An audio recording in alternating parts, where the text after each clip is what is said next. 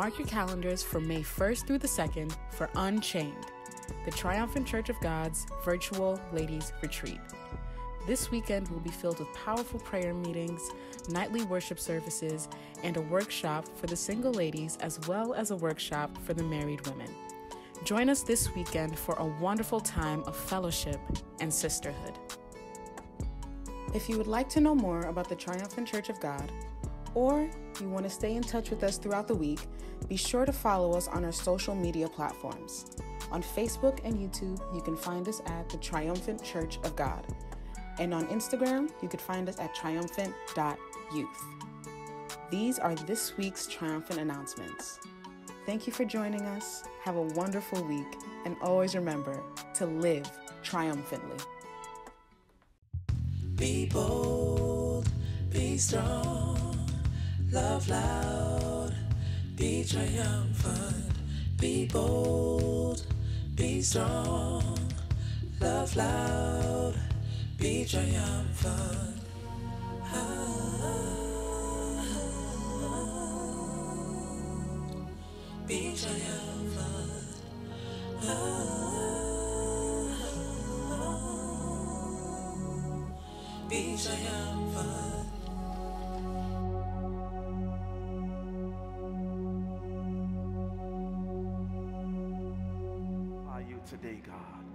The name of Jesus, we are triumphant and we have the victory.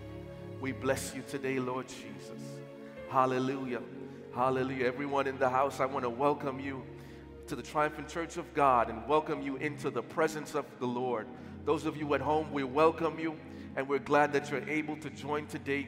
And we're expecting a move of the Lord unlike any other this morning. And as we come together, we just expect that the Lord will bless us as we give him glory and honor.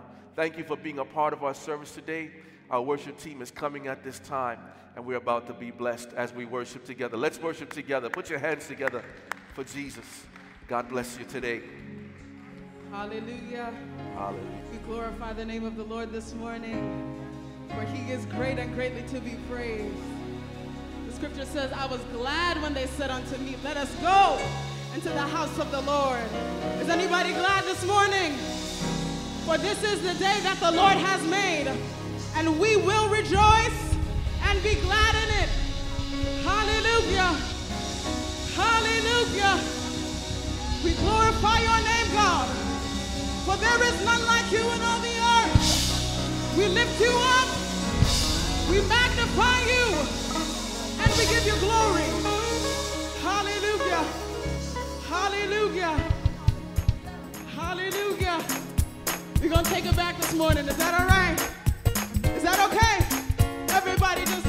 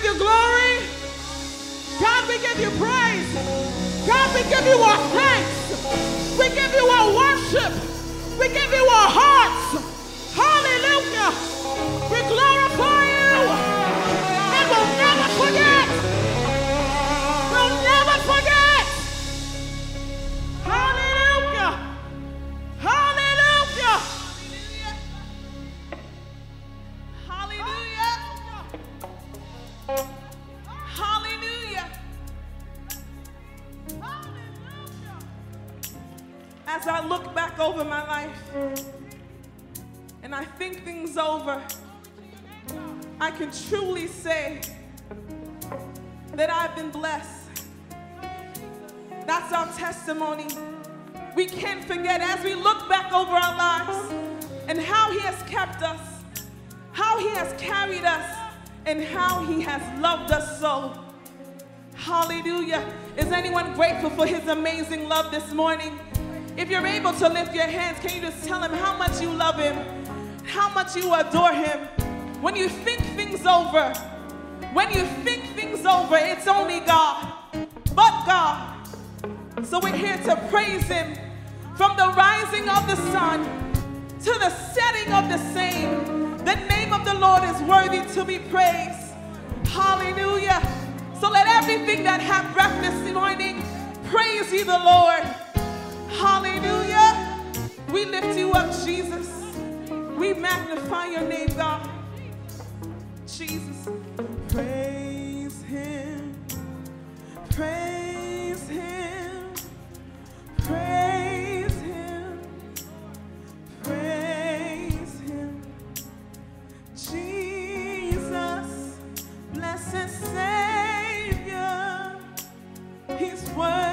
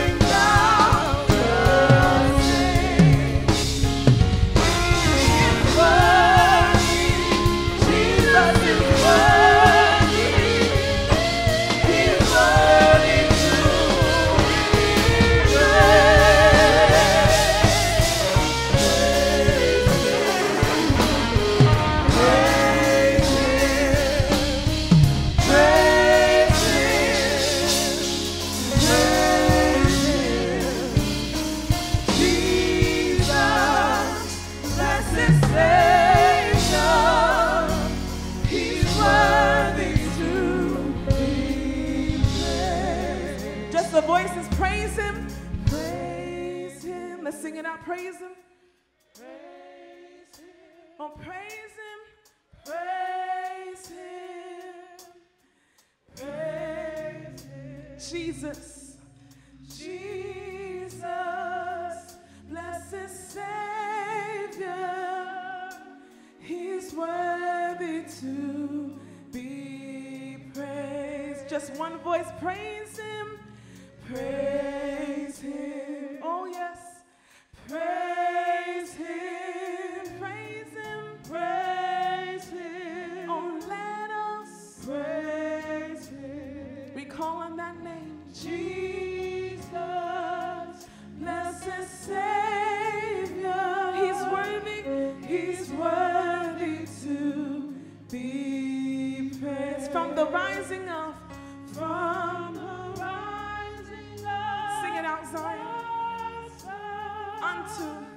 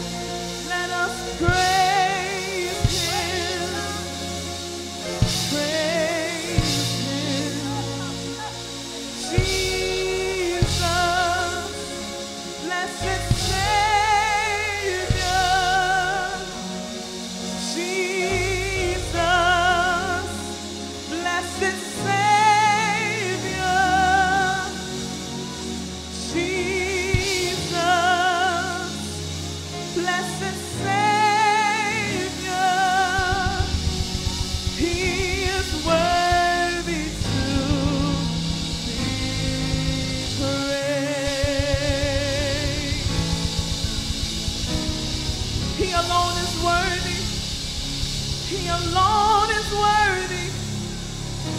He alone deserves the glory. You alone, God. You alone, God. You are worthy to be praised. You are worthy, worthy, worthy. Jesus, blessed Savior,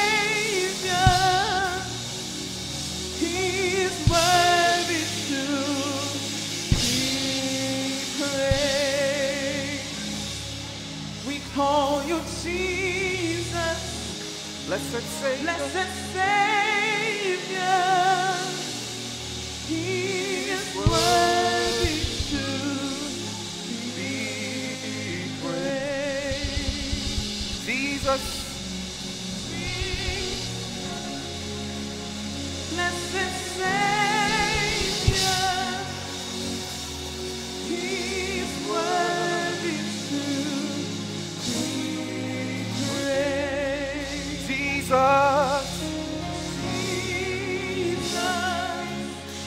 Blessed Savior,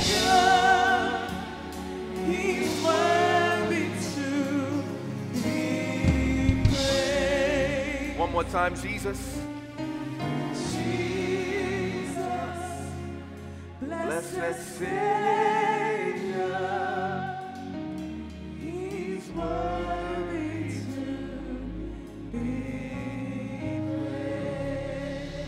On, everybody, lift your hands and give him praise. Give him glory in the house this morning.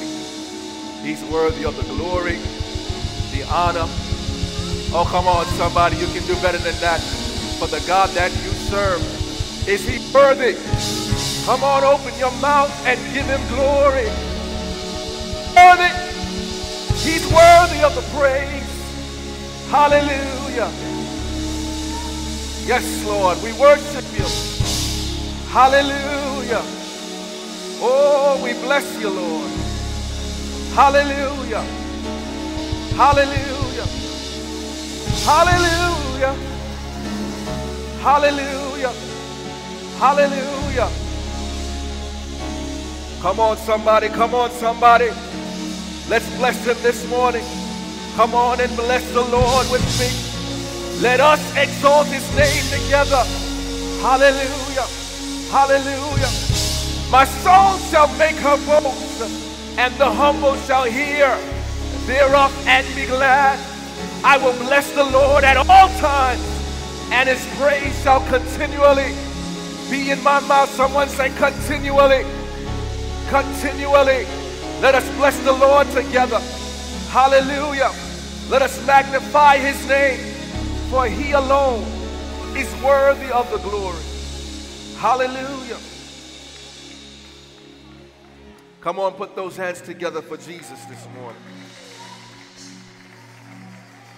Come on, put your hands together for Jesus. Blessed Savior. The songwriter said he's worthy to, worthy to be praised. Hallelujah. Hallelujah. Hallelujah. Hallelujah. Surely the presence of the Lord, Pastor Richards, is in this place. Songwriter said, I can feel the brush of angels' wings. When shall I see glory on each face? Surely the presence of the Lord is in this place. Hallelujah.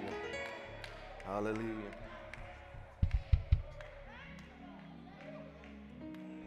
We are standing on holy ground. And I know that there are angels, Evangelist Ben, all around. Let's just praise. Help me worship team. Jesus now. We are standing in God's presence on holy ground. Can I just get the keyboard? Can I just get the keyboard? We are standing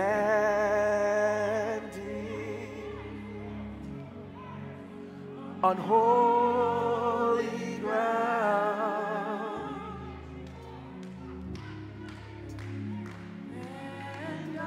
And I know there are angels all around. Let's just praise. Let's just praise.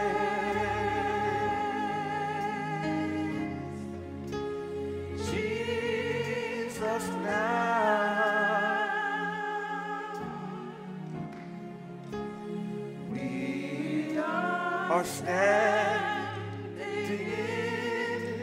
God's presence on holy ground.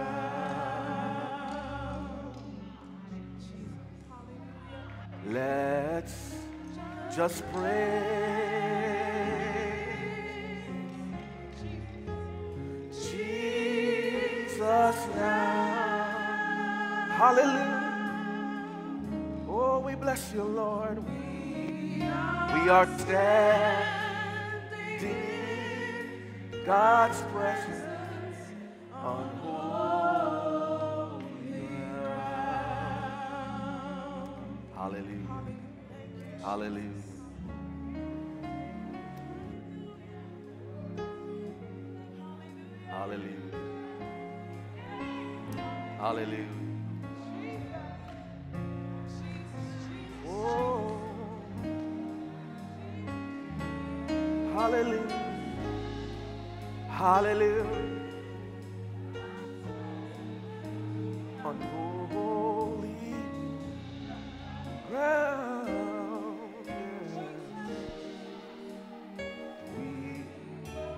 Are standing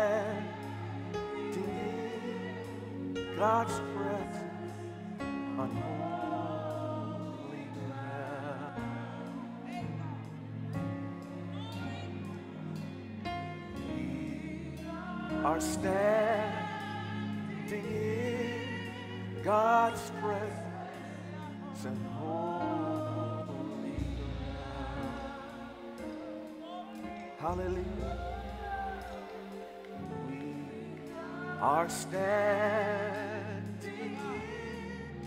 in God's presence on holy. Sister Quiddy, Jacob was running from his brother. And one night, while he was on the run, running, running, running, doing everything, one night he came in contact with the angel of the Lord.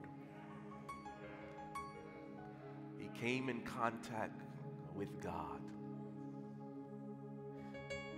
And when he came in contact with God, he wrestled all night. All night he wrestled. And as he wrestled, his hip was out of place, and he said, I will not let you go. Someone say, I will not let him go this morning. I came to get my blessing. And he is here this morning. And I'm going to get my blessing this morning. And he did not let go. His name was changed, his character was changed, everything about him was changed. You can't come into the presence of the Lord, Pastor Richards. You know this, and stay the same. And he changed in that moment. And he said, Surely the presence of the Lord was here, and I did not even know it. Amen. This morning, the presence of the Lord is here. But do we know it? His presence can heal, His presence can deliver, His presence can bless. But do we recognize the presence of the Lord? When Moses came in contact with the Lord, the Lord told him, Take off your shoes. Because the place that you are standing, I wonder if we know we are on holy ground this morning. Bless the Lord. Bless the Lord. Bless the Lord. Those of you watching online, those of you in the building, amen. Our desire is to be in the presence of the Lord. Amen. It's, it's not about the cheers, the lights, the camera, the mute. It's about the presence of the Lord. And everything we do is centered around His presence. Amen. The Bible says, Oh, that man would praise the Lord. Oh, that man would praise, and otherwise acknowledge who He is, would speak well of Him. Amen. Amen. Amen. I'm going to get into the word. Before I do, I want to greet our bishop, all the pastors, respective ministers, uh, lay members, everybody in the house. I want to greet you all in the name of Jesus. You can greet me back too. You know. Amen, amen, amen. It is a good thing for brethren to come together. How good and pleasant it is for us to dwell together in unity. In unity. Amen. Amen. I didn't come to preach about unity this morning, but it is powerful because the Bible says that when all the saints were on one accord, then the Spirit of the Lord descended. Amen. And sat upon every man as cloven tongues of fire. Amen. If you turn your Bibles with me to a very familiar passage, uh, the book of Jonah, Jonah chapter 1. Jonah chapter 1. Amen. It's an Old Testament passage, so if you see John or 1st and 2nd and 3rd John, you are in the wrong place. Take the, put an A in it. There's a Jonah, you'll find Jonah. Amen. Yesterday morning, uh, well, let me start with Monday morning. Monday morning, I woke up and uh, start to wake everybody up, get er- everyone ready for school. And um, everyone says, Oh, but I'm tired. No matter what time my children go to bed at night, you can send them to bed at 3 o'clock in the afternoon. The next morning, it's, Oh, I'm tired.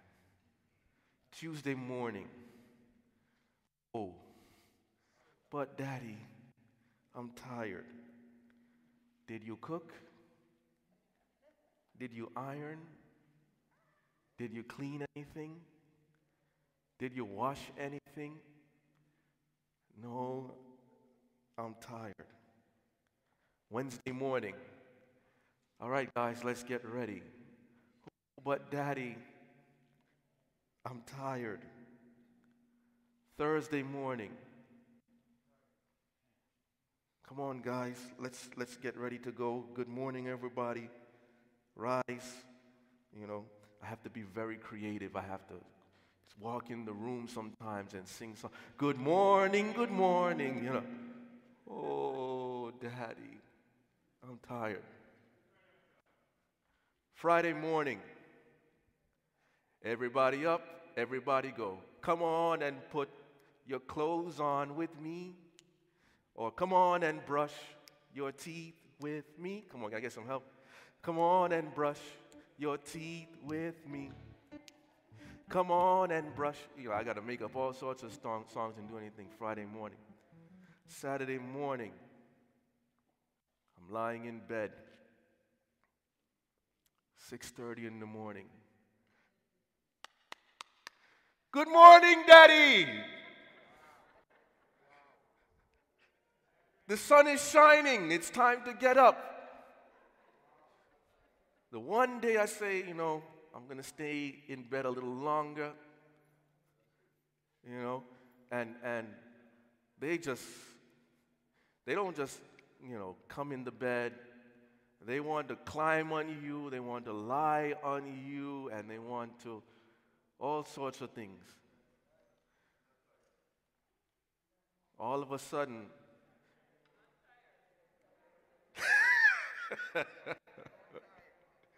Five days a week, everybody is tired. But come Saturday morning, and Sunday morning too, come Saturday and Sunday morning, everybody's got all the energy in the world. Amen. It's amazing, Pastor Watson, how we find the energy to do the things we want to do. You wouldn't believe that my children love school, but there's something about the getting ready and all of that that suddenly everybody's tired. And, and, and I have a son there. He, he's something else. Because this brother will wake up at 3 o'clock in the morning and say, Daddy, you want to hear a joke?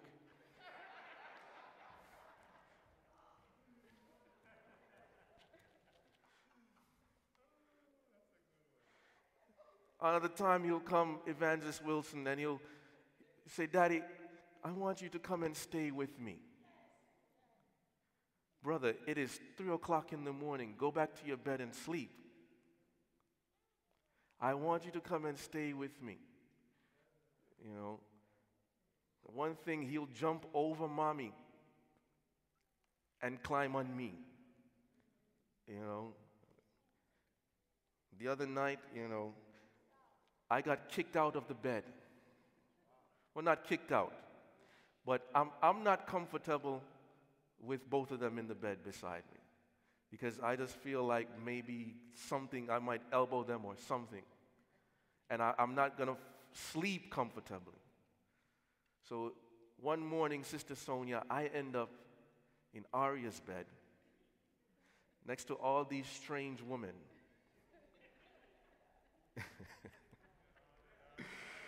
Lord have mercy. Someone say, sleep, sleep on, sleep on. Anyway, we look at Brother Jonah.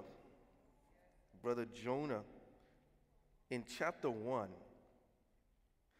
This is a very powerful passage of scripture, four chapters.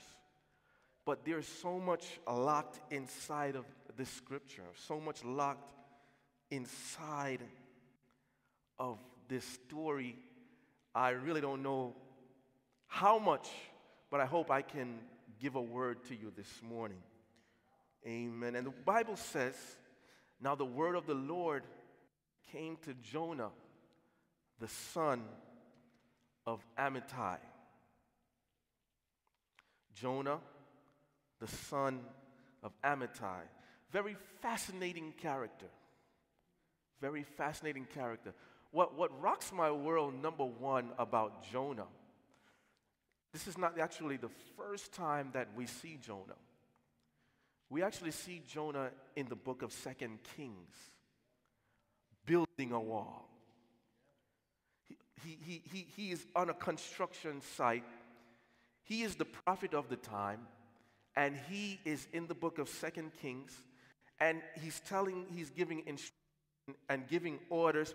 He's got the concrete, he's got the blocks, Winchell, Deacon Brown, he's got the bricks, he's got the wheelbarrow, and he is building a wall because there's a country that keeps invading the land that he's living in, which is called Israel, Bishop. And they keep coming in and, and, and because the defenses are down, because everything is, is falling apart, Jonah, a prophet of the Lord, takes the initiative and starts to build. He, he's, he, he's, he's doing what, what he thinks is right because the defenses in, in, in the city are down. The place is being broken down, and they keep coming in. And, and not only are they just coming in, they are brutalizing people. They are raping people. They are doing all sorts of things to the people of Israel. It is a disgrace what is happening. This country called Assyria is, is, is a, a wicked set of people.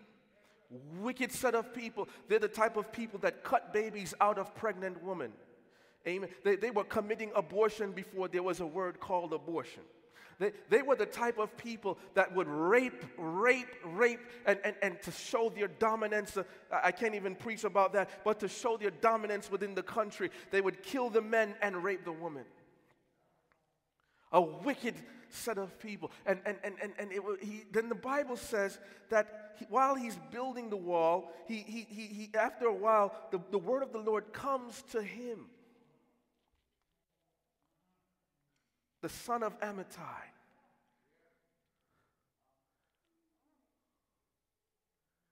Now, what, what, what rocks my world, number one, is that it is the word of the Lord. The word of the Lord. It, it, it, and, and the word Lord there, if you look at it in the Bible, it is not just a regular rendition of the word Lord. It is representative of Yahweh. It is representative of God Himself, who God truly is it was it was it wasn't just it, it, was it, it, was like the word of the Lord. In the beginning was the word, and the word was God, and the word was with God. Now this same word is the word that was coming to brother Jonah. This was no ordinary word. This was no a prophet said to the prophet. He didn't stand on the line in, a, in, a, in an altar call and someone lay hands on him and spoke over him. This was God Himself speaking to Jonah. I wonder if God has ever, has ever spoken to anyone in the house. God is speaking directly to Jonah. God had a word directly to Jonah. And I come to let you know that God has a word for you. God has an instruction, an insight, a wisdom, an understanding specifically for you. Hello, somebody. Amen. It's, you see, the Bible says that man shall not live by bread alone, but by every word that proceeds out of the mouth of God. I, I, I think about when, when someone is, is, when they have those when they have a wedding ceremony or they're having, um, uh, what do you call it, the reception, and, and, and you know, you say, the bride freed the groom, the bride freed the groom. And I don't know why we, we do this, but you put it, you do the bird thing where you, you put the food in your mouth. Well, the word of the Lord is just like that. Like a mother feeding. And here it is the word, the actual word of the Lord comes to Brother Jonah. Lord. What are we going to do with the word that comes to us? The word that God brings to us. Amen. We hear so many words, so many awesome messages, so much well prepared messages, so much research. We hear a word directly. Sometimes we say, My God, we just heard from heaven. I wonder what are we going to do with the word that we receive, Bishop? Brother Jonah gets a word from the Lord that says, Arise here it is the man is the same man that is helping to build the wall, and yet God is still telling him to arise. Because sometimes we get involved in activities, and because we have good intentions, we, we, we miss out on what God is trying to accomplish in the season. So we try to solve the problem on our own. We try to fix things on our own without first getting a word. You don't like how I'm preaching. Without first getting a word from the Lord.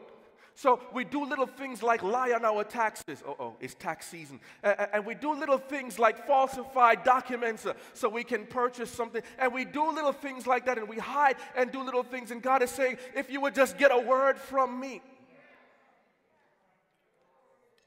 you, you, you wouldn't have to go. Oh, Lord, have mercy. Brother Jonah gets a word from the Lord, Deacon Thompson, and he's dear and he, he says to himself, Lord, have mercy. What is this? Go to Nineveh? No, you could have sent, you, listen, you could have sent me anywhere. Anywhere in the world. You could have given me, and you could have given me any task to do. But this,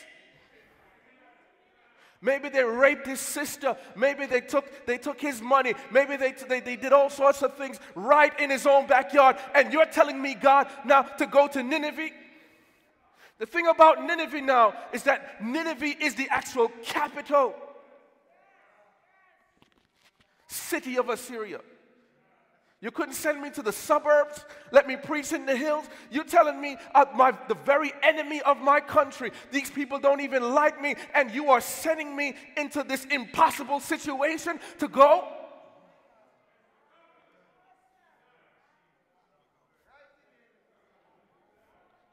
Why would God send Jonah into this place? Well, number one, I want to submit to you that God sends us into impossible situations to prove that He is God.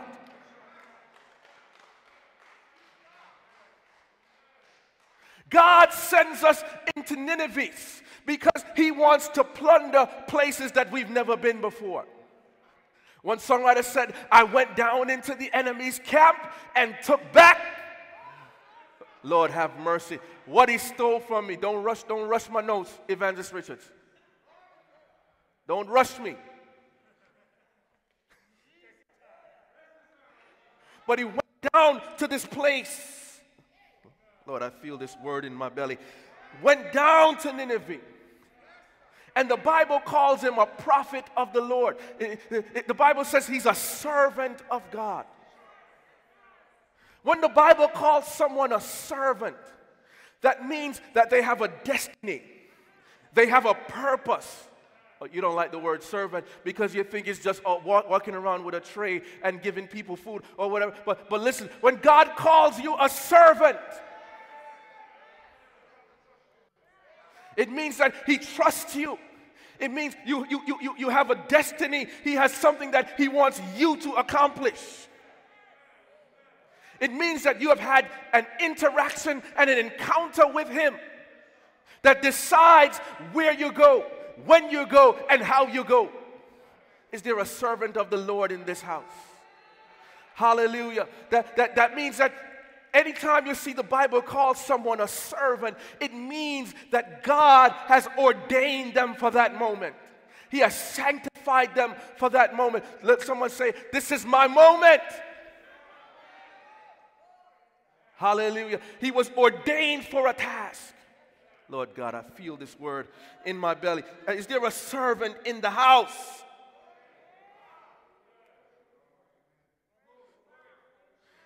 Amos chapter 3, verse 7 says, Surely the Lord God does nothing without revealing his.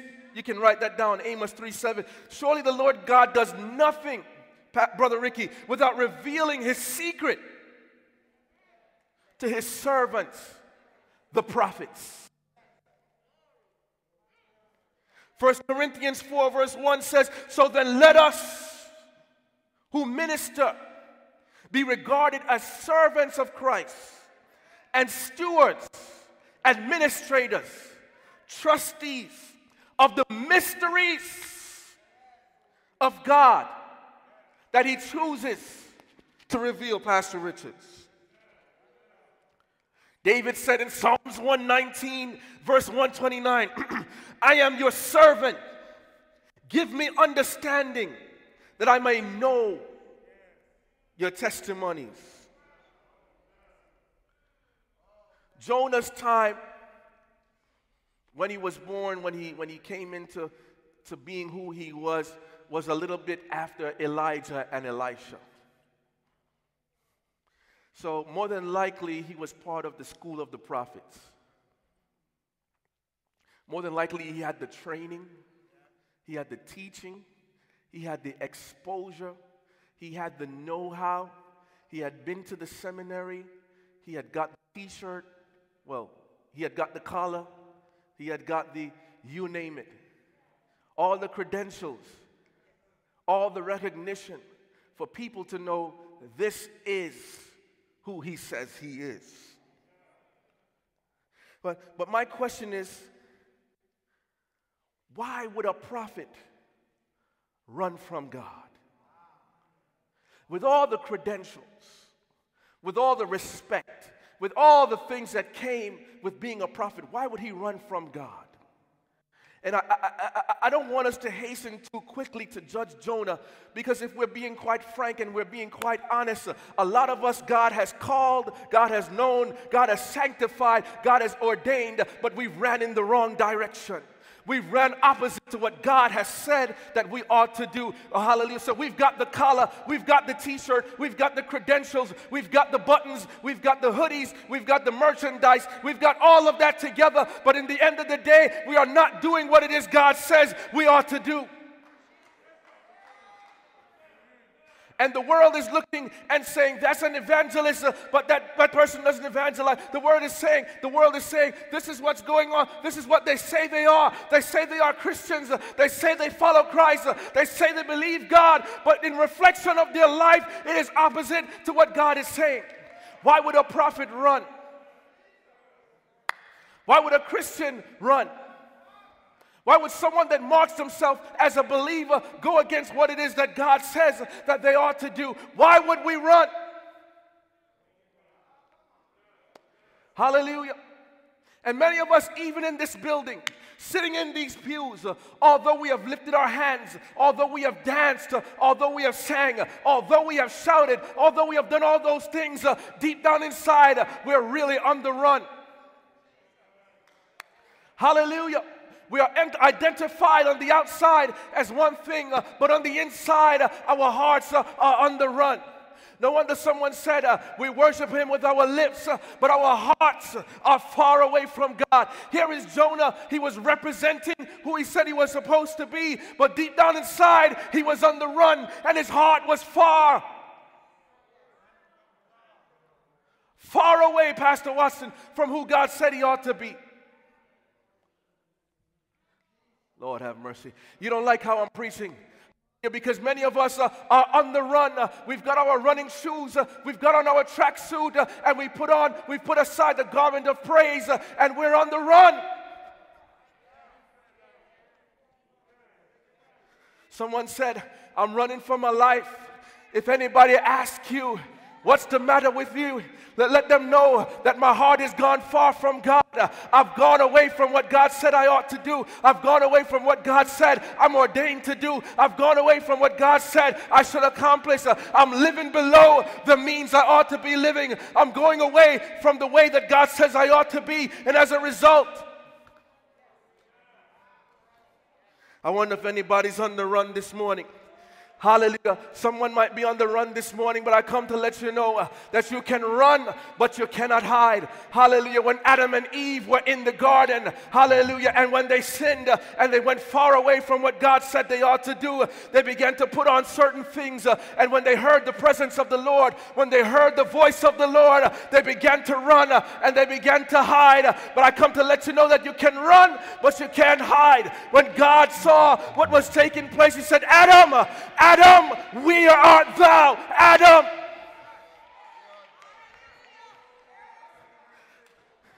Hallelujah. And God is saying to some people, Where are you? You can run as much as you want, but David said, Where can I go from your presence? If I go into the hills, you are there. If I go into the bottom of the belly of hell, you are there. Lord God of mercy. If I take the wings of the morning, He's still there. If I go to the rum bar, I still can run. If I go to the whorehouse, I still can run. No hiding place. Down here, I run to the rock. and the rock cried out, No hiding place. Lord have mercy, I feel a little old school this morning. There is no hiding place down here. One songwriter said, Six men bringing you back to the preacher. Hallelujah. You run, you run, you run, uh, but six men bringing you back. Lord have mercy. I feel this word in my belly. I hope someone is hearing me this morning. You can run, but when God says, uh, I need you, when God says, I want you, you cannot hide.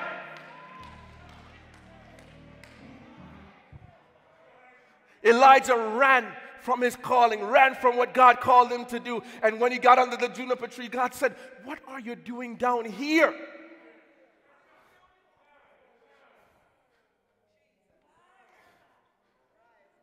Lord, have mercy. I don't know if I can finish this this morning.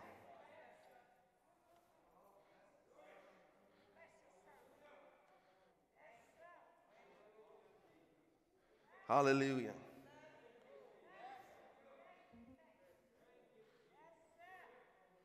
Hallelujah. Just lift your hands and give him glory in the house.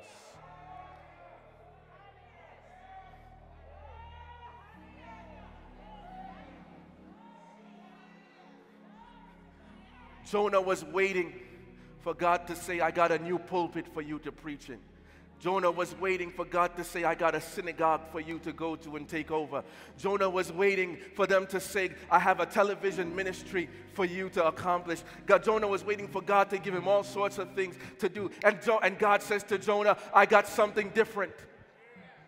Many of us are looking in one place for our blessing, looking in one place to be blessed. And God is saying, I've got something different for you because we, we, we follow the accolades, we follow the recognition, we follow the fame, and we're so desperate and so hungry to be recognized, so desperate and hungry to be validated that we forget about the will of God for our life, and we would rather be validated by man than to be validated by God. But the Bible said it is a dangerous thing to fall into the hands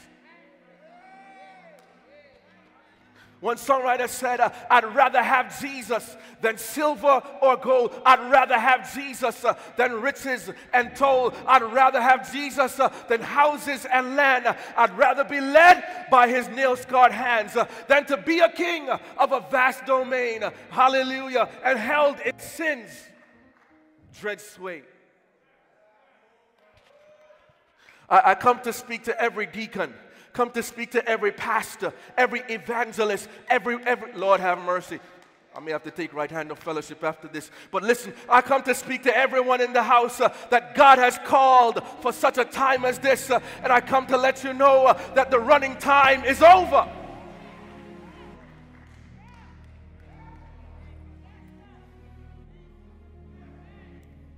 Hallelujah. The Bible says in the book of Jonah that the Bible says he ran away.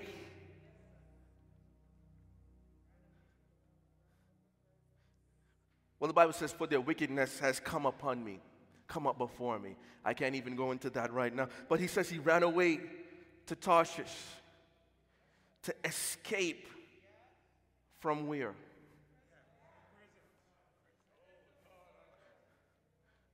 He ran away to escape from the presence of the Lord. We're, we're, trying to get away from the presence of the Lord. Because we, we understand the power of His presence. We want the healing that is in His presence. We want the deliverance that is in His presence. But we don't want to be confronted in the areas that we are running short. We're, we're, we're, we do not want to be confronted in the areas where we're weighed in the balance uh, and found wanting, Evangelist Campbell. But God says, I want you in my presence.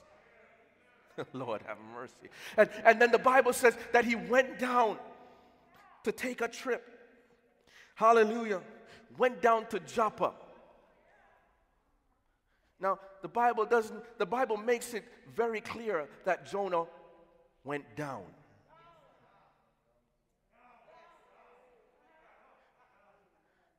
You see, when you go away from the presence of the Lord, I wish someone would preach with me this morning. When you go away from the presence of the Lord, it will cause you to make decisions that cause you to go. Lord have mercy. Someone say, down. Down. I want to be down with what you're going through. Uh, you, you ain't down. Lord have mercy. And he went in the opposite direction to a place called Tarshish. And the Bible says he paid the fear. Now, to take a trip like this, it costs, it will cost you the distance from Israel to Joppa, Lord have mercy. Many of us are willing to travel the distance from Israel to Joppa, then go to where God is saying to go than to do what God is saying to do. We would rather pay the fear. Hallelujah. And listen, I want to let you know that sin costs. The Bible says in Romans 6, verse 23, that the wages of sin is death. Sin, disobedience, rebellion costs. You don't like how I'm preaching.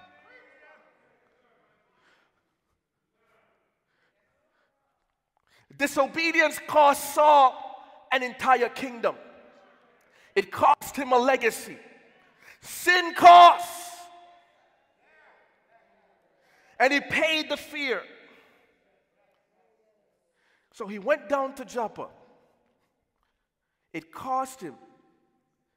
Then the Bible says, after he got to Joppa, he went down into the ship.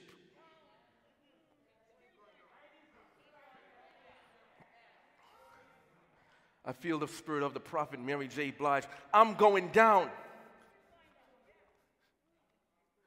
because you ain't around, and my whole world is upside down.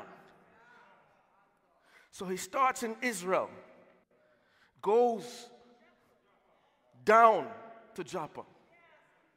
Then he goes down into the ship.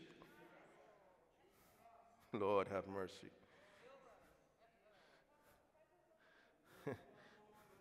And the Bible says that when he goes down into the ship, he's on the ship and he's, he's, he's, he's there and he's there. And the Bible says that God hurled a great wind. Evangelist Wilson, God threw.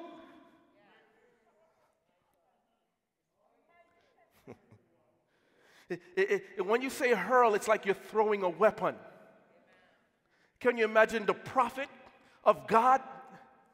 And here it is, the weapon of God, a great storm is being thrown at Jonah. Come on, look at your Bibles with me. You see, because, and then the Bible says it's not just a, a, a storm, you know. It's a great storm. Someone say great. So God sent him to a great city. But because he wouldn't go into the great city of Nineveh, he ended up in the middle of a great storm. Someone, someone used to say, God, you're chickify, you know. Look at the God that we serve. He's supposed to go to a great city. Someone say, great. But he instead ends up in a great storm. Oftentimes, the things that we use to run away from God are the same thing that God turns around and brings us great trouble. I wonder if I'm preaching to someone in the house that God has called, that God has pulled out. You see, when our conscience gets quiet, God will speak even louder. The prophet of God who saw the mighty works of Elijah and Elisha, he saw, uh, he saw all the works of God, and still his conscience was seared with a hot iron. So much so that God had to speak louder for him to hear. I pray that everyone that is running from God, God begin to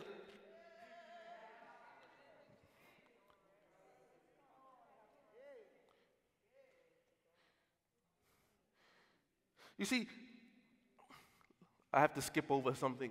When God, when, when God, put it this way spiritual growth is not measured in how high we jump, it is not measured in how fast we run. I, I, I believe in praise. I believe in lifting up the name. I, I believe in running, jumping, shouting. You, na- I believe in all of it. All of it. But spiritual growth is measured in our obedience to the Word of God. Oh, Lord. It is quiet in this Presbyterian church. It- it- it's, it's not how well we march, how well we sing. It is measured. When, in, in when we want to go one way, when we want to do our own thing, Minister McLeod, and God will takes precedence over our will. That's why Jesus, he was rewarded so much because he said, Not my will. Lord, let this cup pass, but still, Lord, not my will. But thine be done. Hallelujah. For thine is the kingdom, he says in the Lord's Prayer, the power and the glory. Even Jesus had to obey.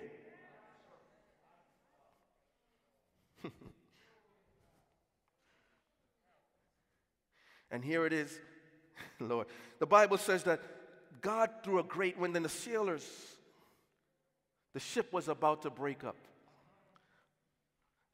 Look at someone and say, Ain't this some ship? The ship is beginning to fall apart. The thing that most that Jonah was using to get away, the thing he was using to escape. Bishop, it starts to fall apart. Sometimes things are falling apart because we're using them as a vehicle to escape God. We want money so bad that we spend we, we, we spend our, all our energy trying to make money, and that same money just starts to fall apart. We work and work and work, and it seems like it's coming in, and the faster it comes in, the more it comes in, is the more it rolls out. Lord have mercy. I can hear a rat licking ice in this place. Because the things that we build, the things that are constructed by man to keep us safe, they cannot really keep us safe. Lord have mercy. And the ship is falling apart. And here it is the sailors. These are men that are used to sailing, used to being on ship, used to being, being where they are, and, and, and used to operating and navigating and sailing and all that. They're used to this. And, and things were so bad that even these men began to start to cry out. Evangelists, they were crying out to their own God. everybody starts to, everybody gets religious in a storm. Everybody gets religious, hallelujah, when things get tempestuous. Everybody gets religious at that time.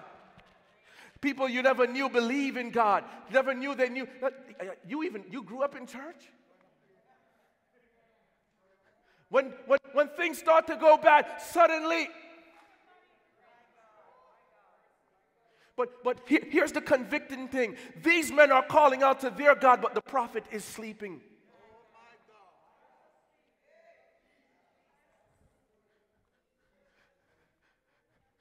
The unsaved man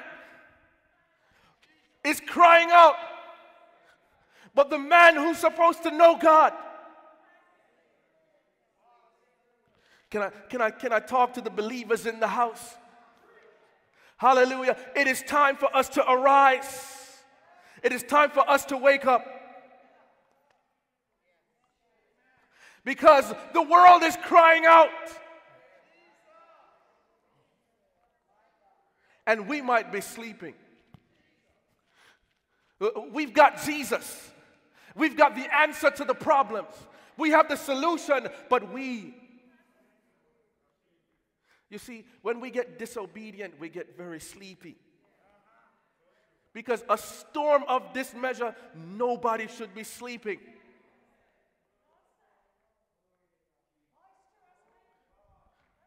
The Bible says it was a great storm, so that even people that know what storms are, even people that understand uh, sailing and all of that, they're crying out to God. And yet, still, this man, the prophet, is sleeping.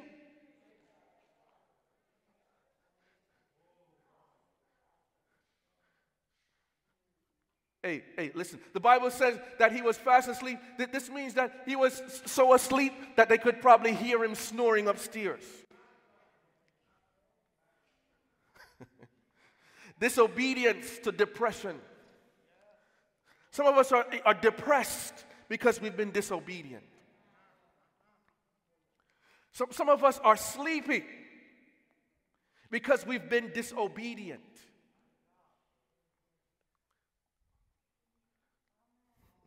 You don't like how I'm preaching. and he's, he's there fast asleep. And then, and then they come down. The captain says to him, How can you be sleeping? How can you sleep? What a thing. The world is saying to the prophet, How can you be sleeping, Deacon Dias?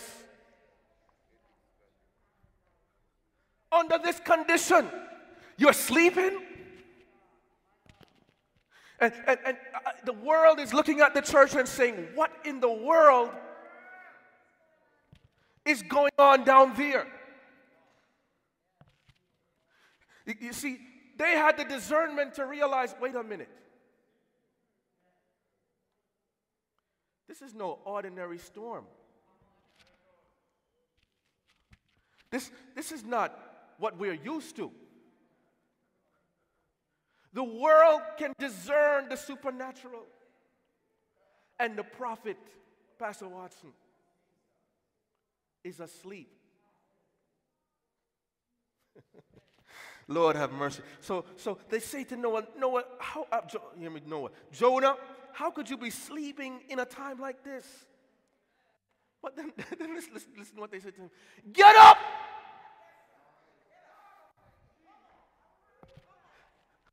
And call. Lord God have mercy.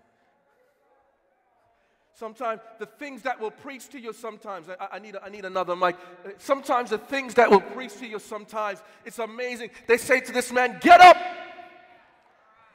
Hallelujah. Arise! And the word of God is saying to somebody this afternoon, you've been sleeping too long. you've been where you are too long. you've at the bottom of the ship too long. and God is saying, now is the time to get up.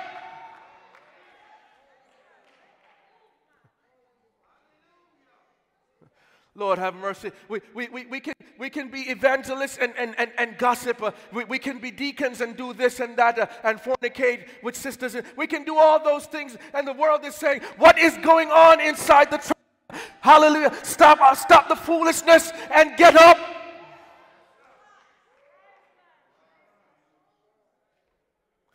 Lord.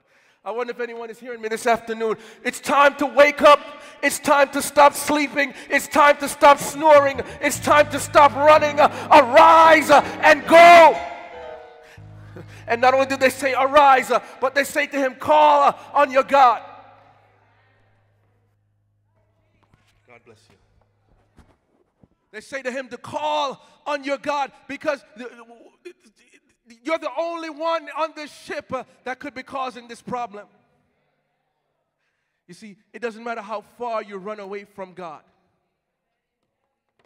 Even when, when God has put his mark on you, when God has put his mark on you, it doesn't matter how far you go away. Hallelujah. Even the sinners recognize you don't belong here even sinners recognize you don't fit in here. You know, you, you know they, they'll, they'll, they'll pass the Dutchie on the left hand side, and by the time it gets to you, they say, no, man, no bother with that. because they recognize you. It doesn't, that's right, Pastor Richards, it doesn't fit you.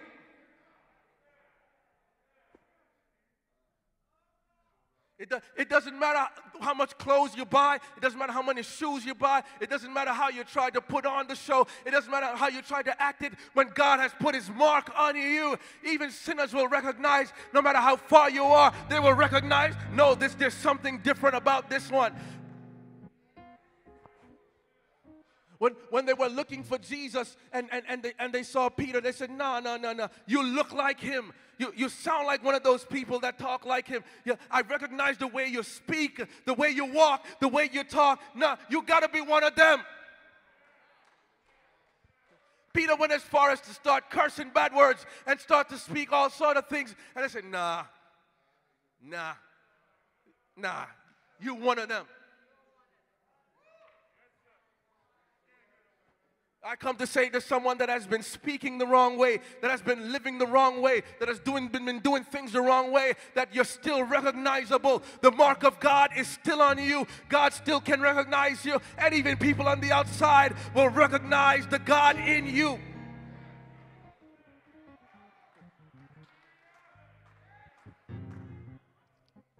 I'm, I'm trying hard to talk through this one, but you're making me want to preach this morning.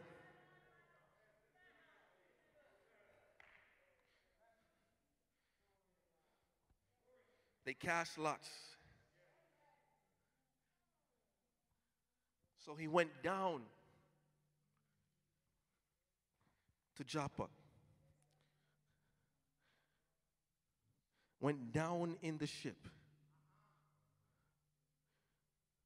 Then he ends up down into the deep blue sea.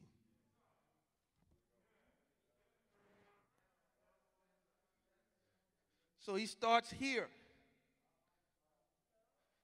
goes down to Joppa, down into the ship.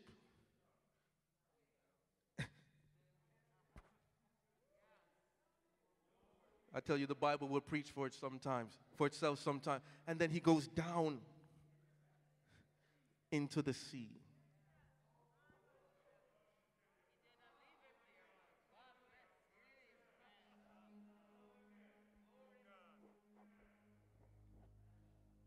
Again.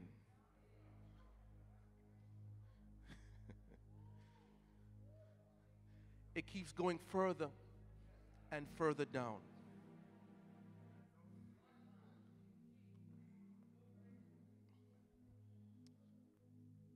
I got to wrap this up. He goes down.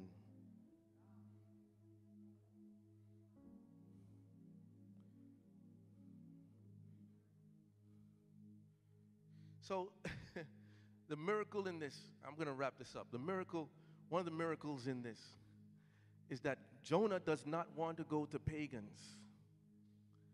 He does not want to go to Nineveh. But here it is, he's on the ship again with pagans, calling on their God. The pagans are calling on their God. And by the time they finish calling on their God, they, they, they, they, they realize what's going on with Jonah. They throw him down into the sea.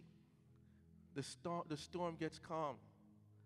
And they begin to serve the true and living God. Did you hear what I just said? You see, sometimes even when we're on the run, when God has His mark on you, He will use your life. The man did not want to go preach to any pagans, and here it is pagans are still getting saved, Sister Bartley. What a mighty God we serve. Bless the Lord.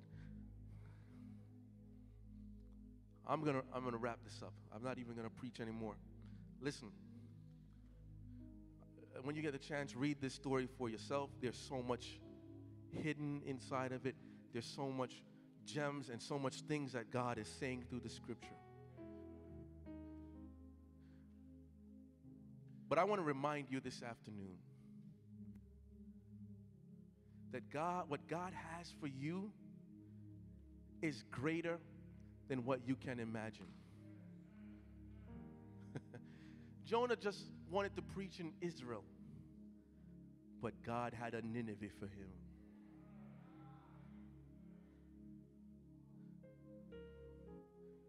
Nineveh was a powerful, big city, and Jonah was the prophet and the evangelist that preached in Nineveh, and the entire country was saved. What I'm saying to you this afternoon, I'm saying to the church, I'm saying to everyone watching online, I'm saying to everybody collectively and individually. God has a city for you. You might be thinking just Israel. You might be just thinking on one level, Pastor Watson. But what God has for you is a great city. I wonder if anyone hear me this afternoon. When God calls you, he calls you great. Amen. And through you, can I talk to the church, Sutter Avenue? When we align with the will of God, there are cities that God has for us. Will we answer the call? We can run, but we cannot hide. Can I talk to the church? I forget some passed them. I can't talk to the church. No more. What God has for us Jamaica, you can take this. England, you can take this. Canada, you can take this. But, but Sutter Avenue, let me say this to you too. More than all, what God has for us is greater than we can imagine. It seems insurmountable, it seems like it's impossible. Lord have mercy. But it's great, and it is for us. There's more to the story, but we're going to wrap up now. what God has called us for is a great city. God said to Jonah, Should I not love? All right, let, should I not love this great city? Amen. Jersey City. Come on, somebody. I wonder if anybody with faith is in the building. Philadelphia, Atlanta, Miami. You see, God, God is just looking for a couple people that will believe. Lord have mercy. Come on, England, London, Manchester, Wales. God has called us, and if we will align with Him, there are great cities for us. What God has for you is greater than what you can ever imagine, greater than what you can ever think or ask. What God has for every one of you here is destined, designed, and created for you to affect that space. But we've got to come in alignment with Him. Lord have mercy. Even when it seems small, Brother Ricky, little is much when God is in it. We're not laboring for wealth or fame. There's a prize, and you can win it if you go. If you go. If you go. Someone say, Go tell Nineveh. Come on, look at someone and say, Go tell Nineveh. I don't know what your Nineveh is this afternoon. Come on, worship team. But God is saying, Go and tell Nineveh. Go talk to your Nineveh. Go and preach to your Nineveh. I don't know what your Nineveh is, but it's time to wake up and stop running and go to your Nineveh. Hallelujah. Where He leads me, I will go. For I've learned to trust Him so. Hallelujah. There's an old Grace Thriller song that said, Jesus shall lead me all the way. Jesus shall lead me night and day. For he is the truest. Lord God, I feel like I'm still preaching. Friend to me. What God has for me, he'll get me there. He'll take me there somehow. We'll, he'll get you there. Whatever he has designed for you, he'll get you there. But don't run. Don't hide. Answer the call of God. Is there anyone in the house this afternoon that wants to answer the call of God? You know what the call of God is. You know what the word of the Lord is. It doesn't matter how far you are. God is saying, I still got you in my hand. I still got a plan for you. God is saying, I still want you. I still have use for you. I still have need of you. I still need you in my kingdom. I still have work for you to do. It doesn't matter how far you have drifted, it doesn't matter how far you have sailed away. Is there one this afternoon? Is there one this afternoon that will say, God, I'm going to answer the call this afternoon? I'm done running. I'm done hiding. I'm done sleeping. I'm coming home to you. I want to do what it is you say you want me to do. Come on, lift those hands up if that's you this afternoon. Hallelujah. I want to pray with you this afternoon if that's you. Hallelujah. Hallelujah. My, my will I give I'll do what you say. Do. Use me, Lord. Use me, Lord. Hallelujah. To to show someone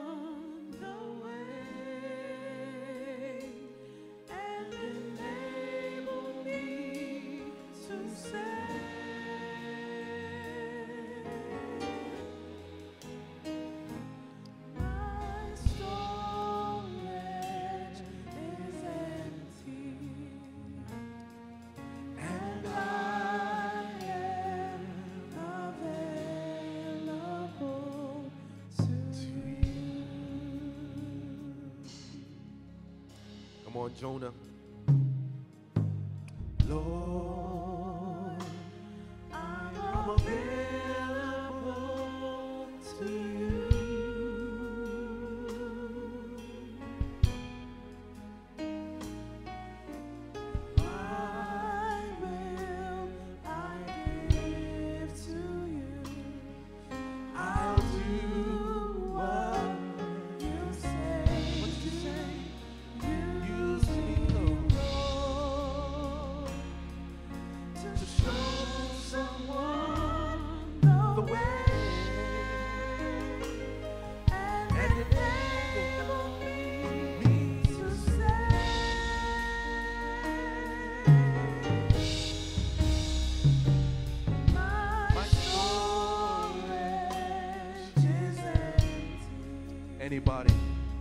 Everybody, and I am available. Available. We surrender to Him this afternoon. And we give Him our everything. Everybody in the house, would you? Lift your hands, lift your hands.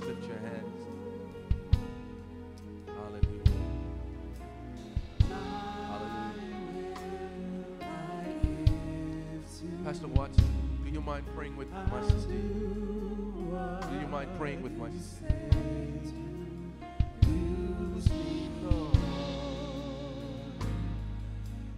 Show someone the way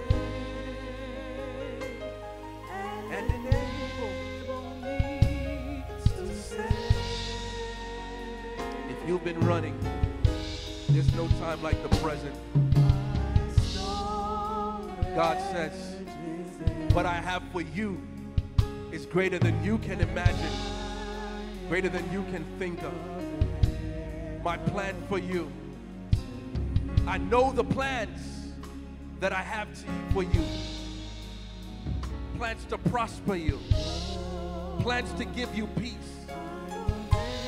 I know the plans I have for you, save the Lord. Hallelujah.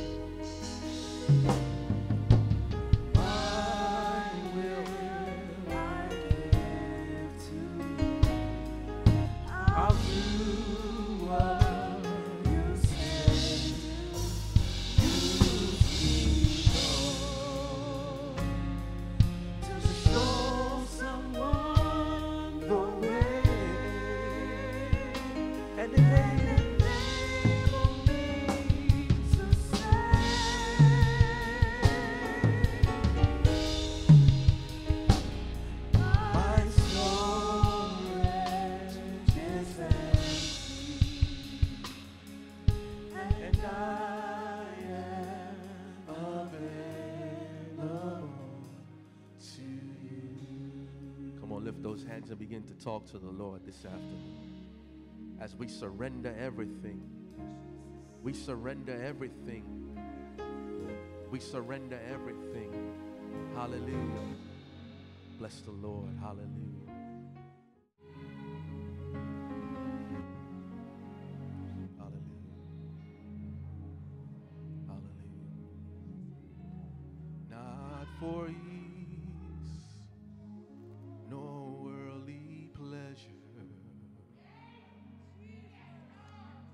For fame.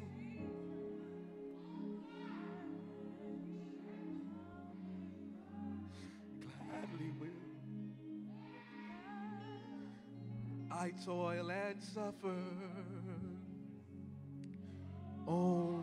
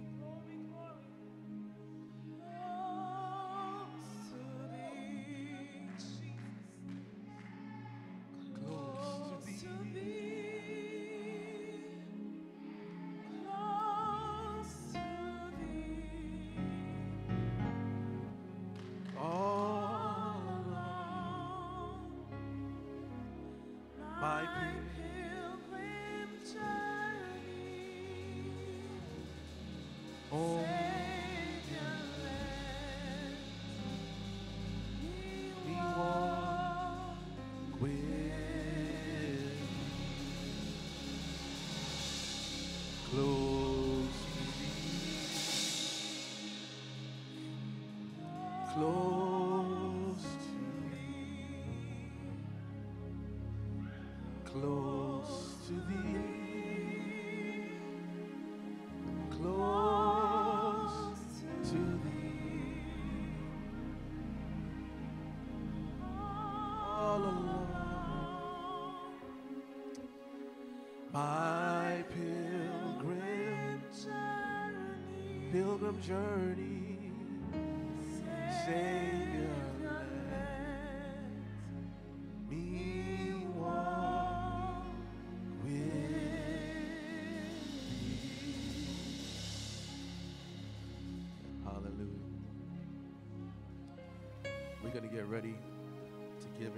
We've got to move forward. But I just know the presence of the Lord is in the house this afternoon.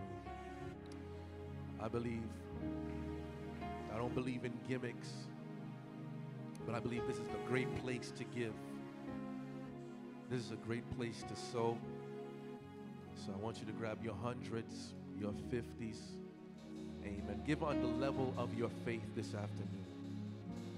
And give above the level of your faith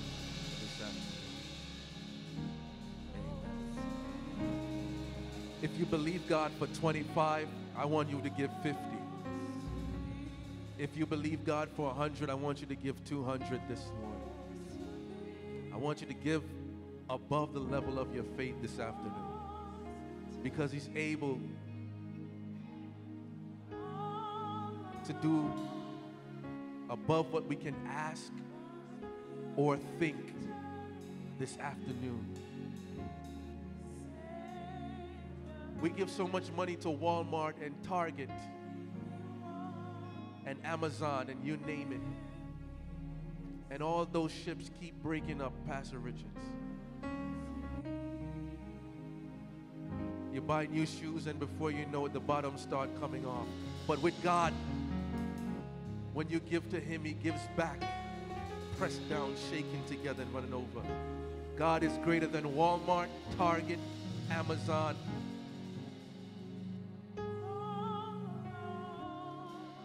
Grab your offering this afternoon. Stand with me.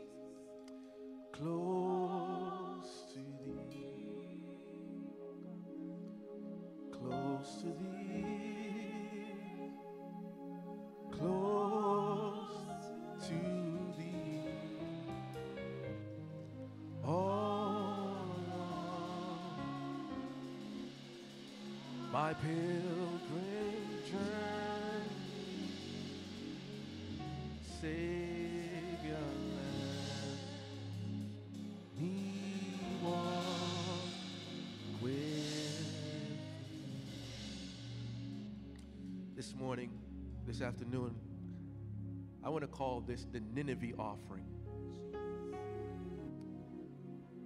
So many times we invest in Joppa. But this, I believe this offering is going to be evangelistic in its reach. I call this this afternoon the Nineveh offering. And as you give, I want you to give evangelistically this afternoon. Amen. Raise your offering with me.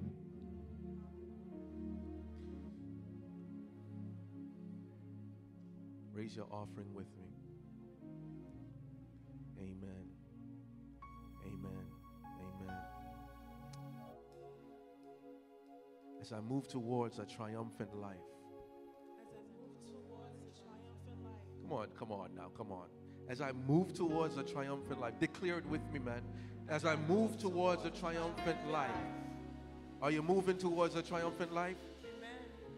As I move towards a triumphant life, As I move towards a triumphant life, I accept all I accept all heavenly concepts heavenly concepts and supernatural ideas and supernatural ideas that God has that God has to lead me to my Nineveh. to lead me to my Nineveh.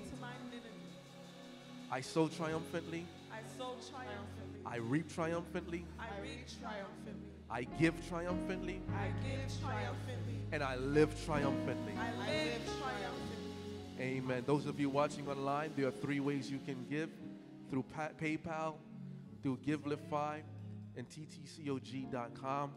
If you are not able to deliver your gift right here in the sanctuary, everybody in the house, amen. Let us give. Come on, everybody. Let's d- deposit our offering, our Nineveh offering. Come on, bring it down. Bring it on down. Savior, let me walk with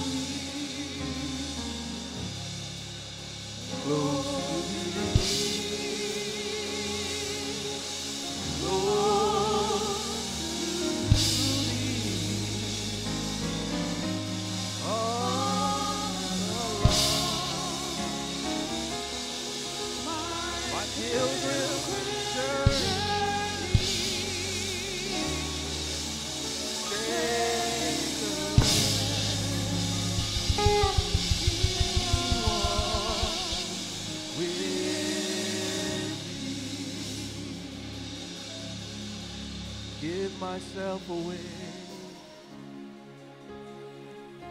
Give myself away.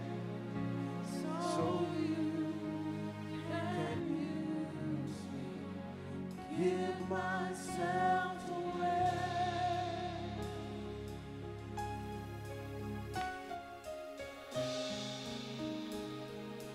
Give myself away. So